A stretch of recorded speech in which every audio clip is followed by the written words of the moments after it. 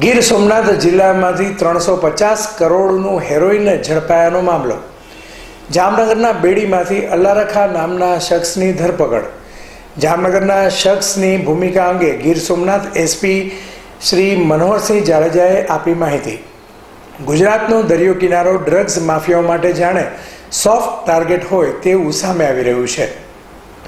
અવારનવાર ગુજરાતી દરિયા કિનારે કરોડો રૂપિયાનું ડ્રગ્સ મળી આવે છે ત્યારે ગીર સોમનાથ ખાતેથી સાડા ત્રણસો કરોડનું ડ્રગ્સ મળ્યું છે. જે મામલે જામનગરથી શંકાસ્પદ વ્યક્તિને તપાસ માટે ઉઠાવવામાં આવ્યો છે. અહેવાલ પરાક્રમસિંહ રાણા વેરાવળમાં જે અમે હેરોઇન પકડ્યું હતું, એ હેરોઇનમાં ત્રણ આરોપી જે તે સમયે અમે પકડેલા. અને એ ત્રણ આરોપીની વધારાની પૂછપરછ બાદ અમે બીજા છ આરોપી ડિટેન કરેલા.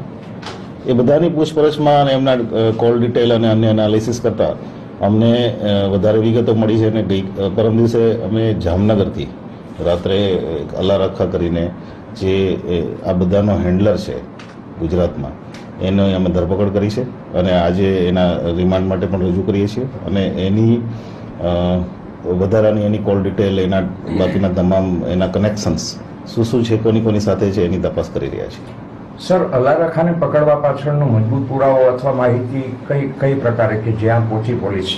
આરોપીના ઇન્ટ્રોગેશન ઉપરાંત અમારી પાસે ટેકનિકલ ડિટેલ એવી અમુક આવેલી કે જેમાં અલારખાની સંડોવણી ક્લિયર કટ દેખાતી હતી અમને.